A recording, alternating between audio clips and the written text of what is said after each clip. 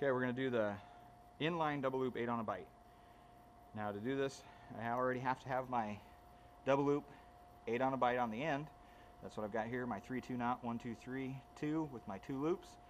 I measure 5 feet from the bottom of this, which is about right there. I'm to turn my left hand over, and this is still facing towards my anchor.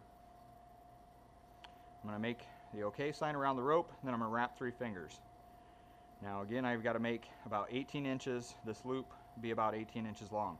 I want to make sure I'm pulling from the bag side when I do this, so I don't shorten up my five foot distance. So I've got about 12, 18 inches there. Now, I'm going to go under the rope and back over the rope, and it's very important that I don't flop here because I can't have any twists, so I'm going to stay in plane. Under, over, and around under everything. So everything's laying flat still. I've got two loops. I've got a right loop and a left loop here. Now the two on the bottom in my right loop are the ones I'm going to come back for, so I'm just going to pinch those under my thumb for easy keeping track of them. And my tail end here that's got my double loop 8 on a bite is going to go from top to bottom through this loop, this left loop. So top to bottom, I'm going to feed that through. Take all the slack out, and I'm going to chase it back up with my right hand. So I'm just following it back up through this loop, grabbing those two that my left thumb were holding in place, and now I'm going to grab my standing part. I've got two loops here at my knuckles. The one that's closest to my knuckles ends up going towards the anchor or farthest away.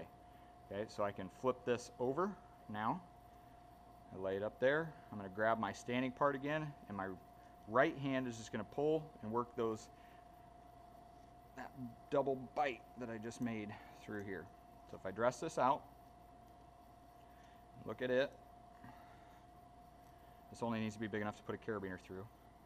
It shows as a 3-1, so 1, 2, 3, and a 1 with my double loop here. That's it. So this would be attached to our rescuer's back, and this goes on our victim when we rappel down to them to secure them to one of our lines, our belay line right away.